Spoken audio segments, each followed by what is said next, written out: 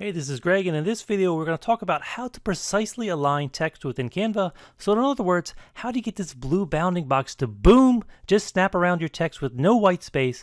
And then what are the other couple little tricks you can use to precisely align text under a shape within Canva, within some other amount of space within Canva? How do we do it? There's some simple tricks. I'm going to teach them all to you here, so let's dive in.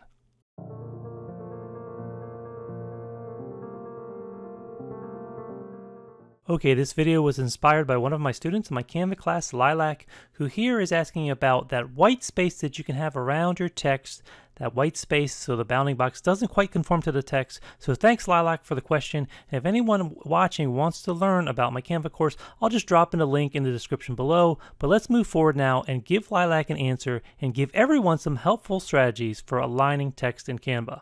So first of all, Lilac asks, what am I doing wrong? Well, you're not doing anything wrong. Whenever any of us work in new software, this is just a normal workflow. You're going to struggle with some things at first while looking for that optimal strategy, those optimal workflow tips that help you save time. And so that's just normal. But as we learn, we do want to be on the lookout for those tips, those things that are going to save us time. And there are definitely a few of those tips, which I'm going to go over now on aligning text in Canva. Okay, first let's just review the basics, which you probably already know, and that is when you're resizing a text box in Canva, of course you have to click on it to select it, and then you have these middle handles and you have quarter hand, corner handles. Okay, so the basics, middle handles are resizing your text box itself, so if you drag this in far enough, it's going to go to multiple lines, and if you drag it out, you're starting to get this white space, and this white space before and after the text is what uh, Lilac was asking about with their question, like when you have this, this can be problematic when lining something underneath something else. Uh, and also, your alignment's going to matter. We're going to talk about this. This is center aligned.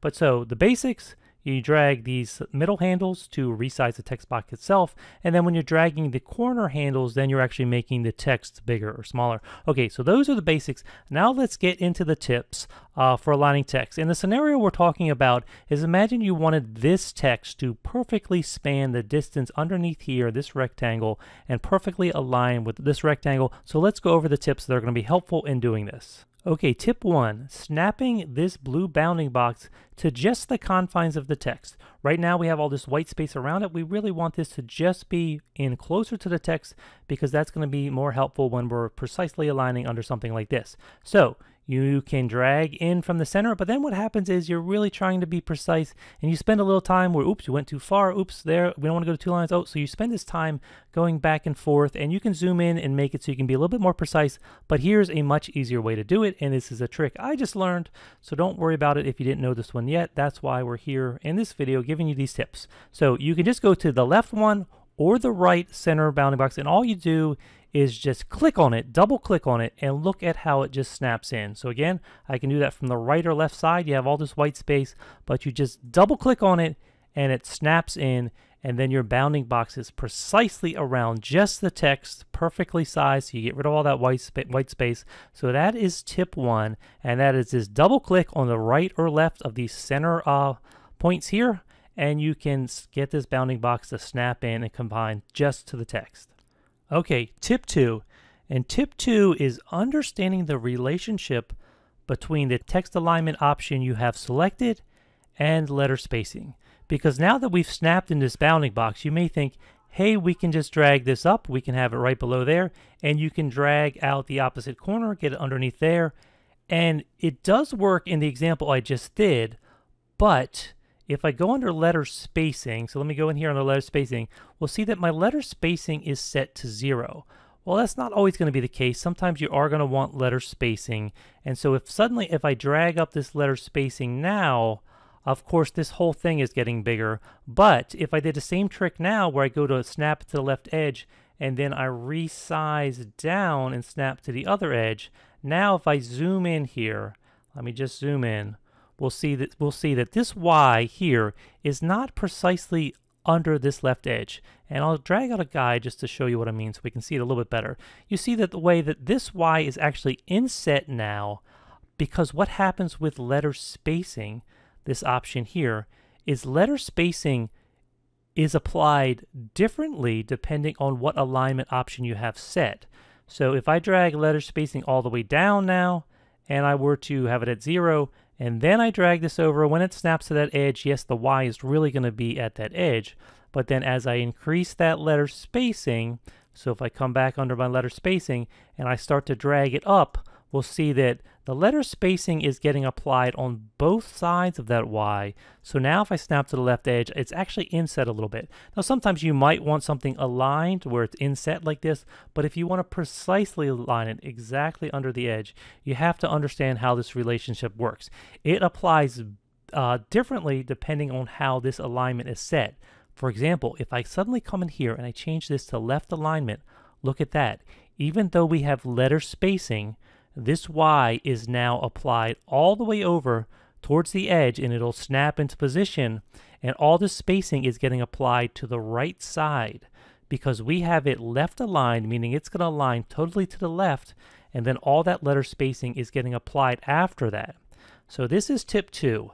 Uh, make sure you right or left align your text when you are really trying to do this precise spacing because then you'll be able to come in here and even when you have letter spacing you're going to be able to snap to that edge and it really is going to be underneath that edge. If you have it center aligned so if I switch this to center aligned then suddenly it's not because that letter spacing is being applied on both the left and right side of that letter. So this tip number two is just understanding that your letter spacing and your alignment are related and so use left or right alignment when you're really trying to precisely align that. Now, tip three is pretty much where do you go from here once you have it left aligned or right aligned.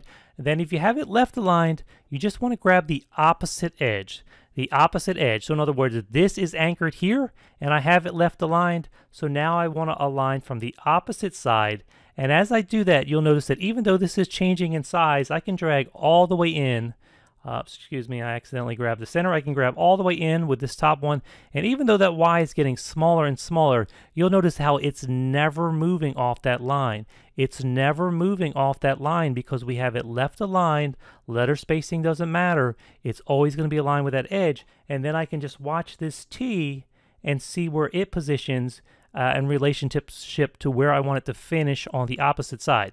So tip three is just drag out from the opposite side of where you have it aligned and anchored and then just zoom in or use guides as needed for extra re visual references to get this properly aligned. So if I know I want it to be right underneath this and I just want another uh, extra uh, visual reference, I can just click and drag on my rulers here. And if you're not seeing these rulers, all you have to do is come under File here, and you have the Show Rulers and Guides, or you can use Shift-R on your keyboard. That'll bring up these rulers, and then you can just click on any one you want and drag out a guide.